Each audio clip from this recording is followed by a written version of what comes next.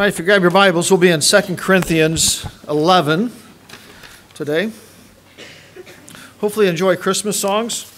I used to be a you know hard nosed, no Christmas before Thanksgiving, uh, but it keeps starting sooner and sooner and sooner because I, I, enjoy the songs. Um, the ensemble, when I took them out about a month ago, complimented me by saying that I didn't repeat the same message. Um, I think they just wanted Culver's. Uh, and I heard that you got Culver's Sunday night too, so I worked with Pastor Mitchell as well, so good job. Um, I'm going to ruin that today, so you get the same message again. Uh, I had to tell them that because they might not recognize it. You know, it's, it's who knows how, how alert they were. I'm kidding, I didn't see them sleeping. Uh, 2 Corinthians 11, we'll start there. We talk about the simplicity that is in Christ. Ensemble, we do have a slightly different uh, application towards the end, so there'll be a little bit of new material. If you're, you're thinking, was I sleeping last time for that? It, it might be the new part.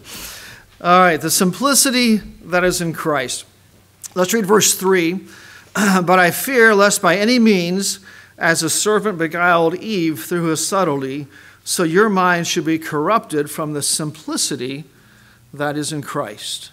Right, the word simplicity there has the idea of singleness or sincerity or without pretense or hypocrisy, the simplicity that is in Christ. And today I just want to, to uh, think about that for a little bit. We'll talk about salvation and then some other, just some simple Bible truths. And sometimes we, we we hear them all the time and they kind of bounce off our mind and don't really uh, hit us like they should. So, so uh, the simplicity that is in Christ. Let's pray.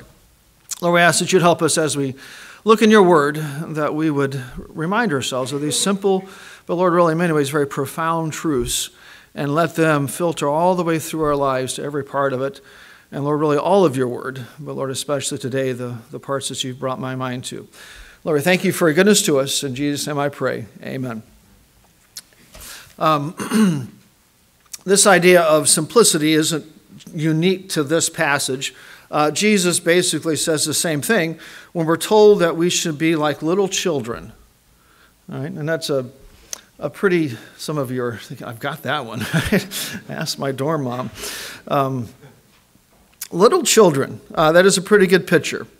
Um, There's food in the cafeteria down there for lunch today, and it's a staff kids' hot lunch day. Um, the elementary kids that are on staff, their parents on staff, they're, they're not in class wondering, I hope they're cooking lunch. They're just, they're just going to go down and get in line and get lunch because they've been told there's lunch today. They're going to go get it. They're not worried about it. They've been promised lunch. they're not fretting over it, wondering if it's going to happen. Or um, if you've ever been with a little kid in a car um, thinking of Olivia once. We were going to Michigan City, and um, I, I, forget what route we went, probably down 12 and not 20. And uh, she said, Dad, are we going to Michigan City? It might have been one of the others, but we'll go with Olivia. And I said, Oh, yeah, we're going a different route.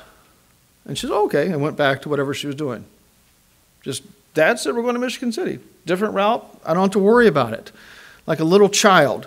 when I was a kid, I remember riding my dad on his motorcycle.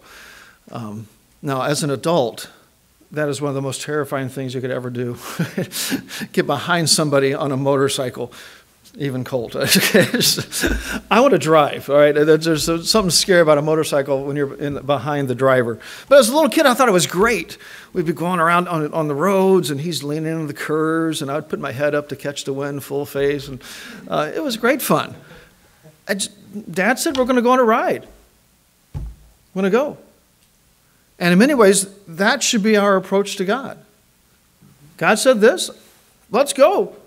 We don't have to worry about the details. Now, as an adult, I'm thinking about, you know, there, there could be rocks in that curve, and the front tire is going to slip out, and then we're going to slide across the pavement, and or a car is going to come across the yellow line. You know, I'm thinking about all those things as an adult.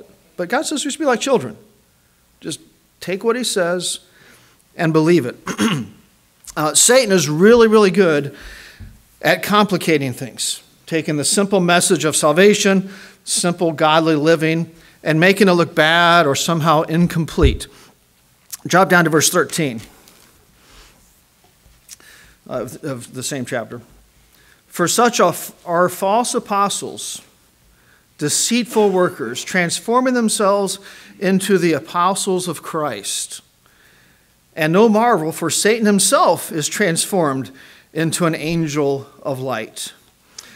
Therefore, it is no great thing if his ministers also be transformed as the ministers of righteousness, whose end shall be according to their works. Excuse me. Satan's good at making all that he offers look really inviting and really wholesome. Otherwise, it wouldn't be a temptation. I mean, Satan's not stupid. He's not going to come to you and say, Now, if you make this decision and do what I want, and show you 15 years down the road. This is what's going to happen, but please do this really stupid and simple thing right now. He doesn't do that. He makes us think it's good or wholesome or somehow satisfying. Right, so, this idea of the simplicity in Christ, we can miss it.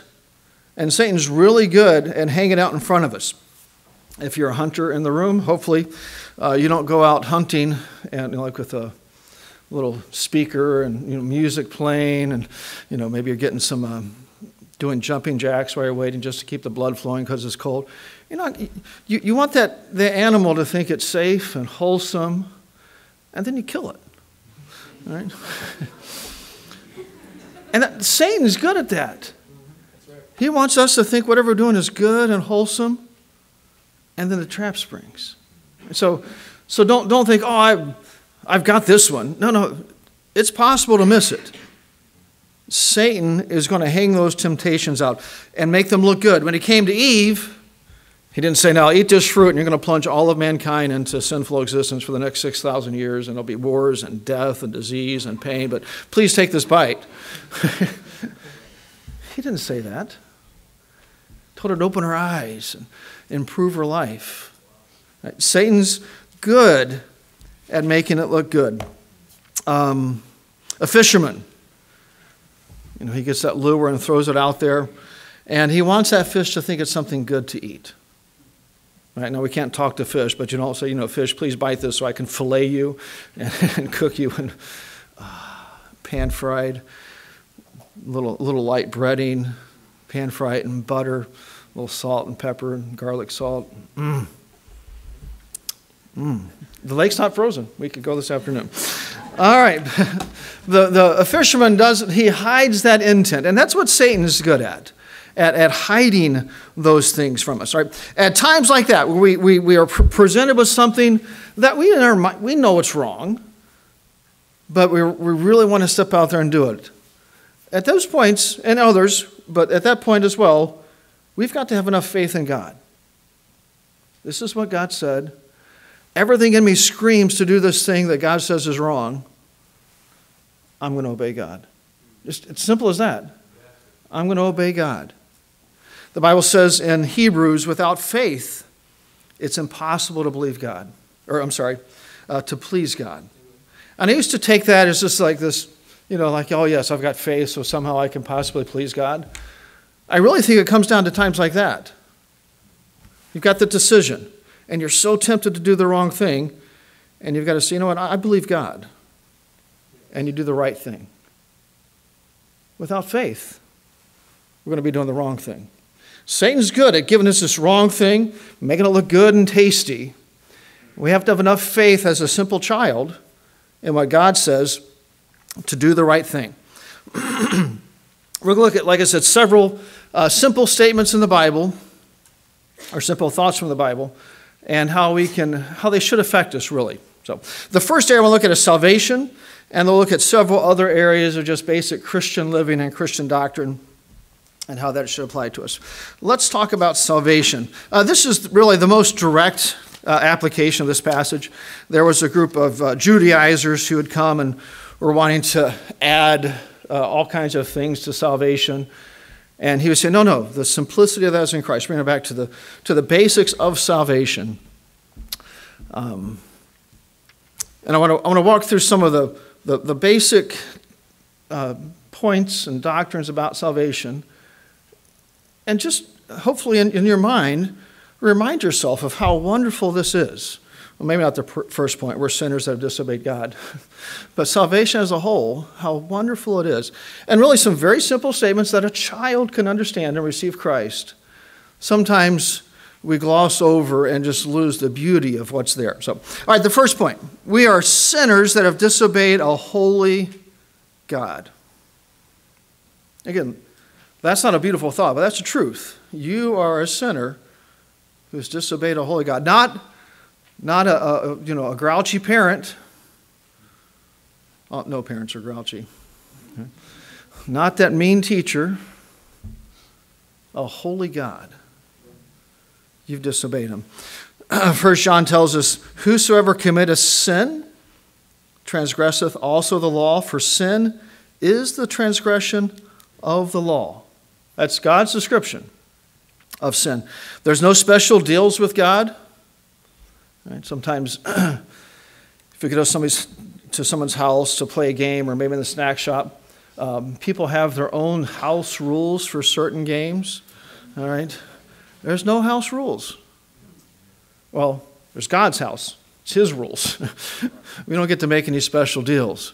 All right? Uh, anybody, the Uno player that if someone lays a draw four, you can just keep stacking on top of it, and someone's left with like draw 35. Wait, that'd be hard with draw, draw 36. Uh, so, all right, there's no house rules with God. You don't get to, you know, negotiate with God, say, well, you know, this point here, let's play the game this way. No, God has told us what sin is. And that's the bottom line. All right. Uh, along that same line is we are guilty of breaking all the laws in God's sight. James 2:10 For whosoever shall keep the whole law and yet offend in one point he is guilty of all. It's easy to think, man, those murderers Hamas they deserve the wrath of God. But in God's eyes we're guilty of, of breaking them all. And if you really think about that, and then the next point, getting ahead of myself, is God loves us. Why? Why? We're guilty of breaking all of God's laws. We deserve God's wrath. We deserve right now to be killed and thrown into hell for eternity. Sometimes you can forget that. I use this verse in junior church sometimes, but I need to be reminded. I deserve hell. I'm a sinner who, before salvation, was guilty of breaking all of the law in God's sight. It's not like you just told a small lie, but you committed murder. We've broken the law. That's the end of the story in God's eyes. All right, uh, God loves us. That's the next point, and wants us in heaven. now, think back to the fact that we're sinners, and God loves us and wants us in heaven. Uh, maybe, maybe somebody smart in here can tell me why. But he just decided to. It's not like we had anything to offer him. He loved us, completely undeserved, and wants us in heaven. He didn't wait for us to, to get ourselves clean. He just loved us. In that while we were yet sinners, Christ died for us. Again, that's a simple thought, but sometimes we miss it. I'm a sinner who deserves hell, who deserves hell, and God loves me. It should overwhelm us. All right, let's go on. God didn't just, you know, like say, I really love you, but it's unfortunate what's about to happen. He went on. He said, uh, Jesus died for our sins. 1 Peter 2, who his own self bare our sins and his own body on the tree, that we being dead to sin should live unto righteousness, by whose stripes ye were healed. Amen. Christ died for our sins. We're coming into Christmas, celebrating his birth. That provided for us salvation. That we don't deserve. He never sinned, but he died for our sins. Maybe if you think about um, Mr. Petrell coming into one of your guys' room and giving you demerits for something your roommate had done how many are going to just say, oh, I like my roommate, I'll just take it? Joel saying, absolutely, I don't like my roommate, so I'm not taking I don't know who his roommate is. Sorry for you.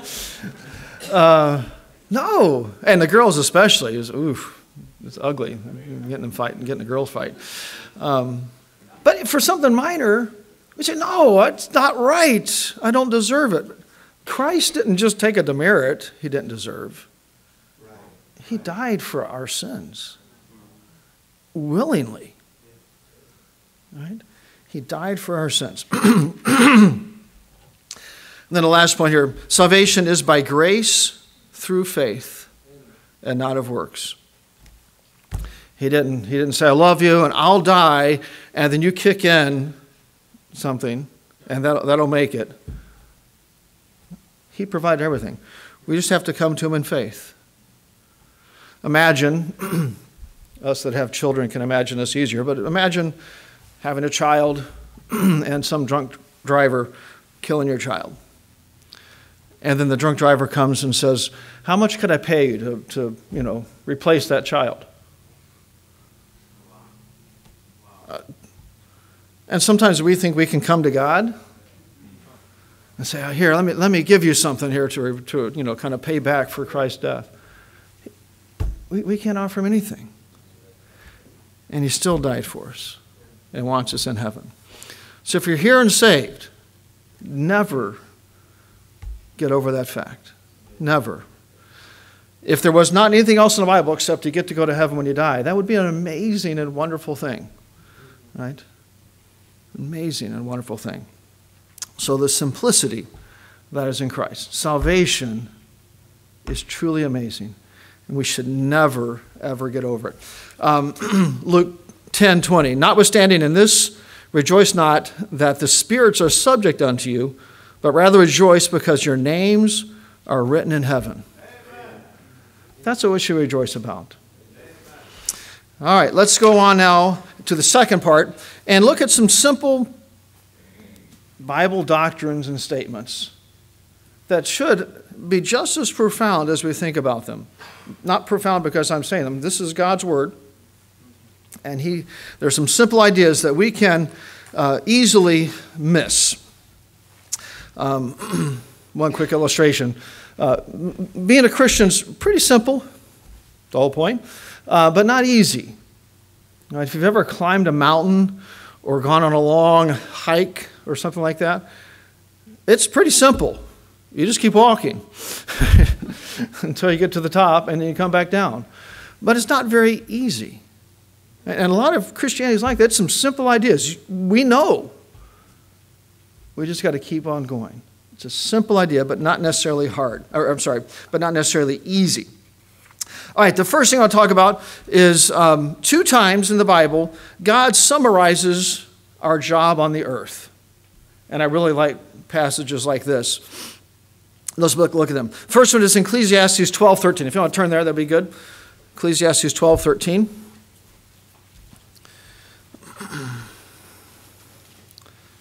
This is my uh, teacher side coming out. I like nice, simple summaries. I know you're thinking, what, what teacher likes a simple summary? They like complicated and confusing because then kids fail their tests and they feel like they're smart. But that's not my, at least not my goal. Maybe Dr. Schreiber, but, uh, or, or, Mr. Schrock, I don't know, but not my goal. We have a, a, a summary here that you know. Right, let us hear the conclusion of the whole matter. Fear God, keep his commandments, for this is the whole duty of man. I mean, we can boil everything down we're supposed to do as a Christian into those two things fear God, keep his commandments. You'll spend a lifetime trying to get that done. All right, first thing, fear God. The whole point there is to fear God, revere God. He is God Almighty. Who are we to think we can, we can mess with him? So we need to fear God. We can't possibly fear lots of other things, or maybe let other things govern our actions and not what God says. That means we'd be fearing those other things more than what God says. Could be money problems. We need money. If you don't, I will relieve you of the burden. Just give it to me, all right? uh, we need money. You got bills to pay. You can let your fear of money or the need of money or some bill coming down the line, a school bill, please pay that, uh, or other things that, that you have to do. calls you to do things that you know God doesn't want you to, to do. The fear of money problems is governing your life, not the fear of God. Uh, it could be the fear of uh, missing out on something that seems like it'll be fun. Again, Satan's good at dangling those things out there. Like, oh, that would be so much fun if I just, hopefully, you've never had this thought. Hopefully, if just wasn't a Christian and had to be in church on Sundays, I could go. Satan's dangling that thing out there. And if, if you take that bait, your fear of missing out on that thing is governing your life, not the fear of God. Um, I grew up in West Virginia on what we call the hill. I don't know. As a kid, it was like a three and a half or four mile long straight driveway straight up this mountainside. It's about 100 yards long, uh, but it seemed gigantic as a kid. Um, and my dad, let me back up. Um, we used to have to walk home from the bottom of the hill on certain days. Some days my mom would pick everybody up and drop them off, and we'd drive home. The other days we'd have to walk home, you know, like half a mile or something. Um, but I remember as this big dog that uh, I thought wanted to eat me being loose there. Uh, and it, it, it controlled every action I took from the time I got out of the car to the time I survived and made it home. The fear of that dog there were times where my, the fear of my dad didn't govern my actions. That same hill, we were told never go sledding down it. Some of you guys that have been there know the bottom goes right into that other road, a, a, much more main highway. Doesn't flatten, comes down and hits that road, well, maybe an angle like that. Um, and as a kid, I thought, what's the problem with that? it's this great hill, straight down. Uh, so one day, the fear of my dad did not govern my actions. All right, and I went sliding down the hill. Nothing happened. Nobody died. Uh, I did get in trouble. Um, you know, we went down the hill, and you know, before we got to the bottom, we'd just roll off our sled and, and claw into the snow. we all managed to stop in time. We thought it was great fun. Um, but there, the fear of my dad did not govern my actions. My desire to have fun govern my actions. And when we talk about fearing God, it should govern our actions everywhere we go, everything in life. What does God want? What does my Heavenly Father say about this? Right? And really, if you get that down, the other side comes almost automatically. I'll keep your commandments, God. You got my attention. Fear God and keep his commandments. That's one time God summarizes this whole thing. Go over to the New Testament, Matthew 22. Jesus summarizes again all of the law and the prophets, and you're probably thinking of the passage already. Matthew 22, verse 35.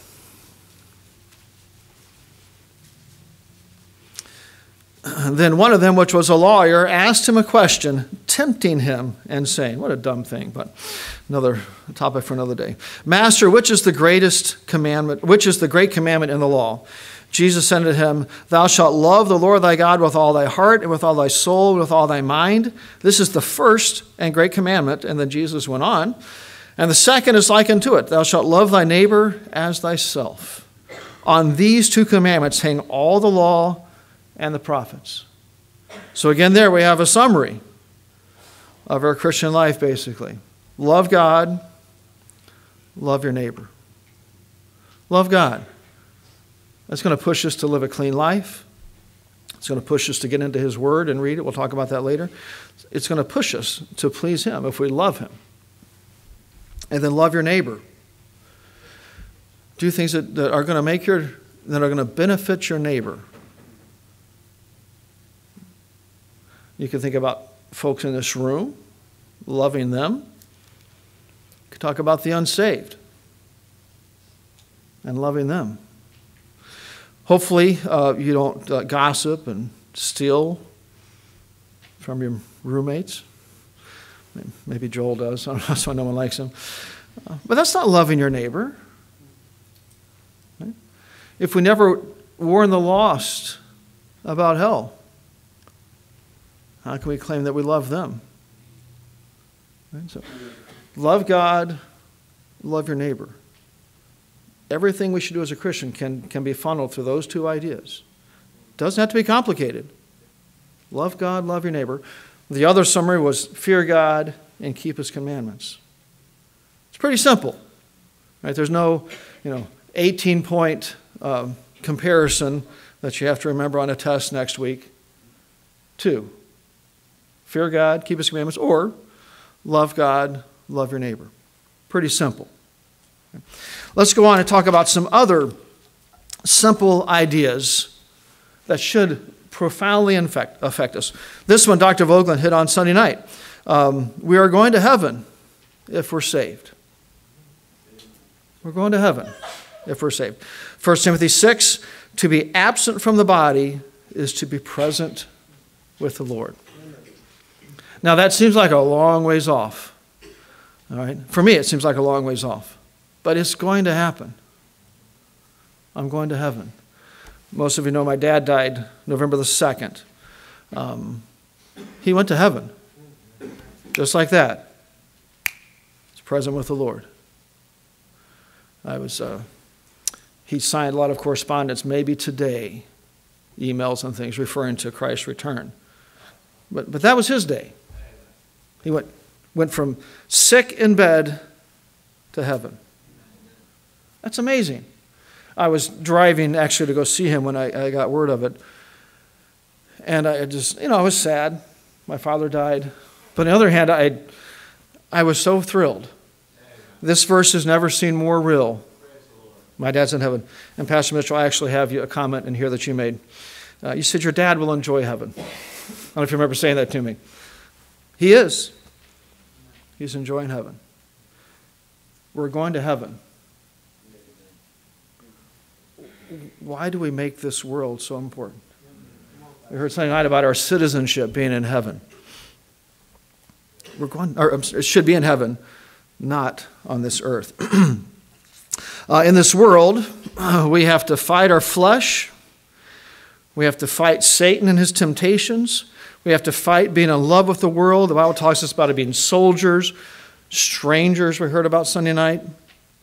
In heaven, Their tears are wiped away. We have rest from our sinful flesh.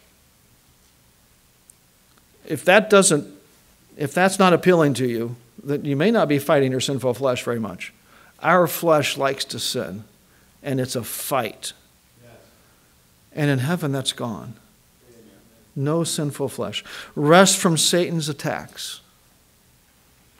Continual fellowship with God. It's going to happen. Someday you'll be in heaven.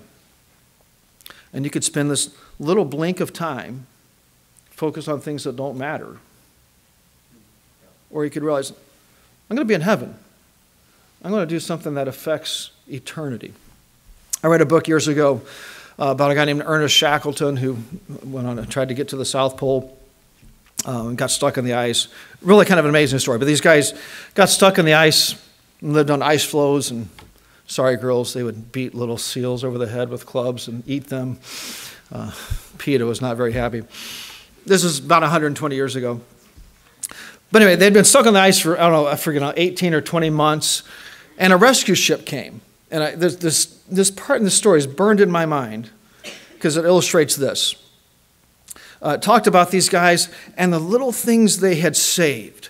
They had pieces of bone or a piece of string, these little trinkets. And as soon as the rescue boat showed up, they walked away from it. At one point, that was all, you know, they were careful of their little treasures until a rescue boat came and they'd walked away from it. If we're not careful, we're going to live our life consumed with these little treasures. And when we get to heaven, We'll look back and say, wow, that was dumb. We're going to heaven. That should affect our entire life, everything about it. All right, let's go on.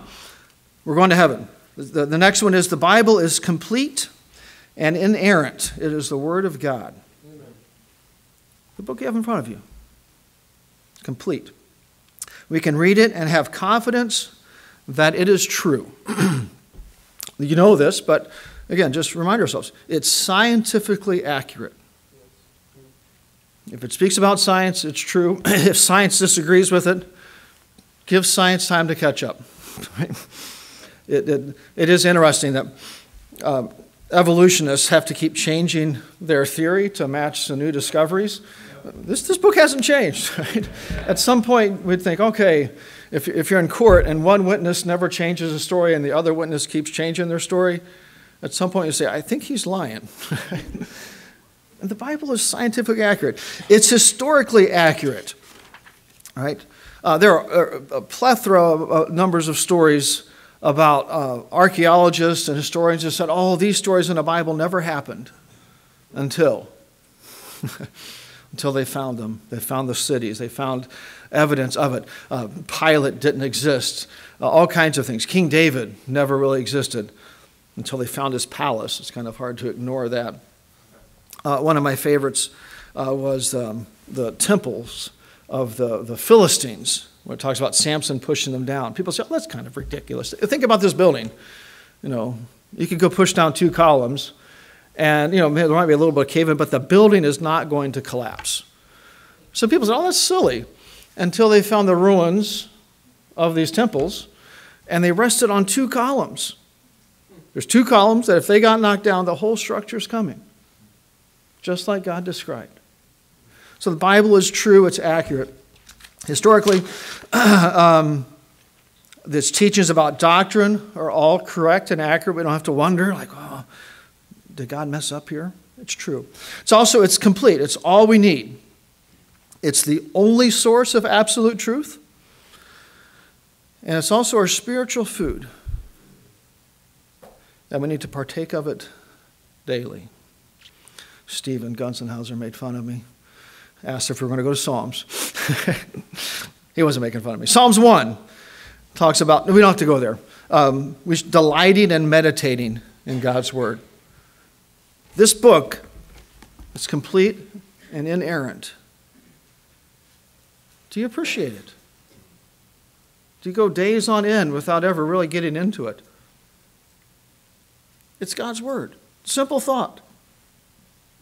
But it should affect us. All right, let's go on to the next one.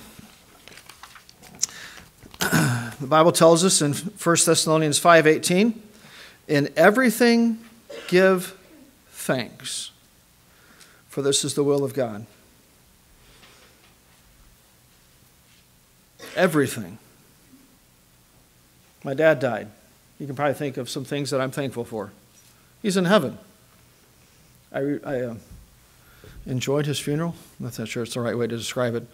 Um, but it was thrilling to me to hear about all kinds of people, some that I very distantly knew, uh, who my dad had affected for God.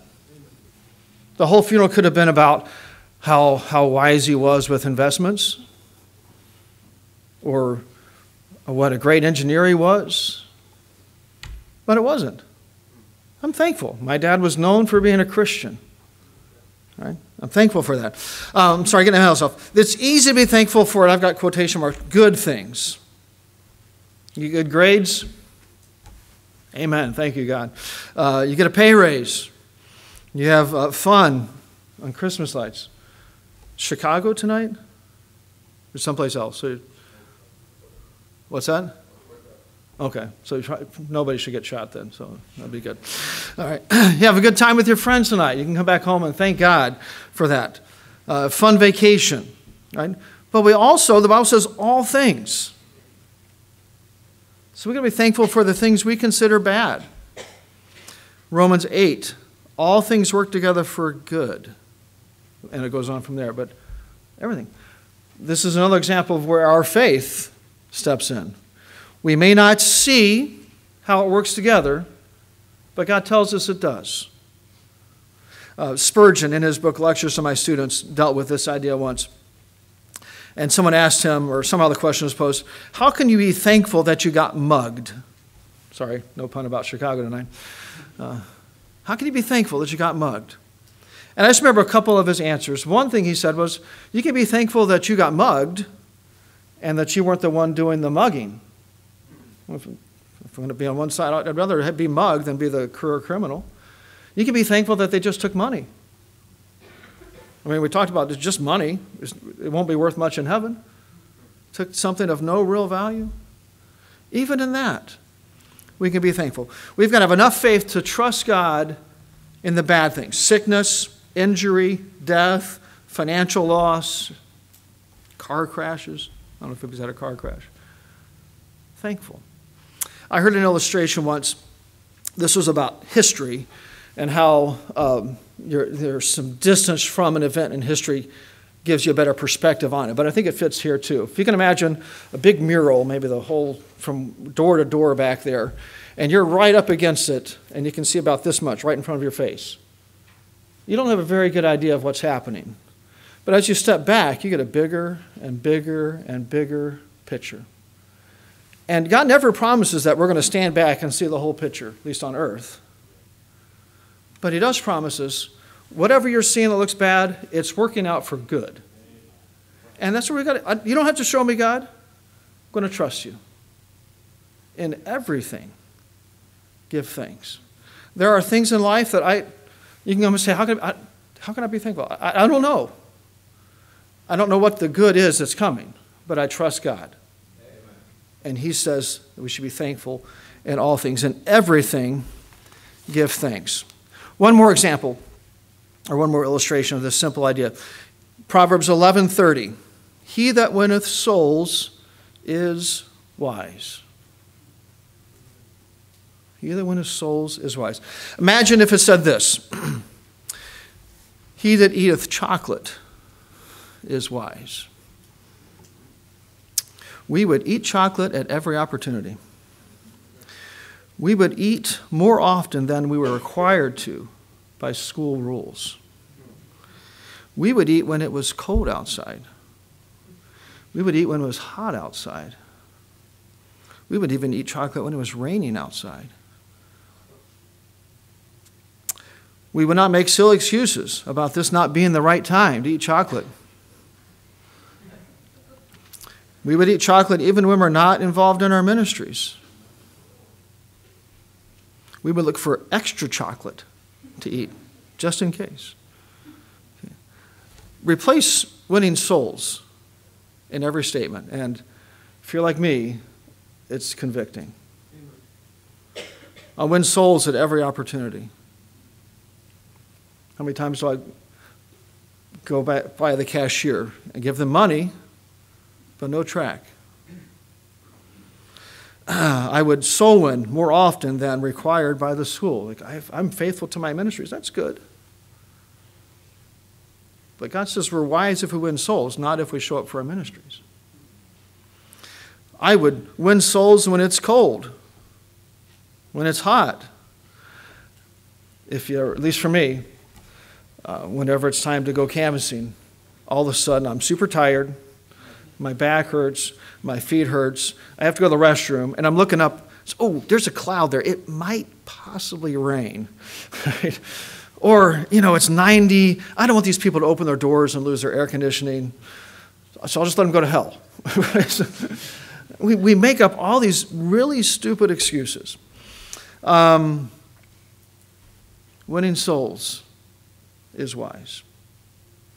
Now think about you by that standard, how much of a fool are we? Or are you?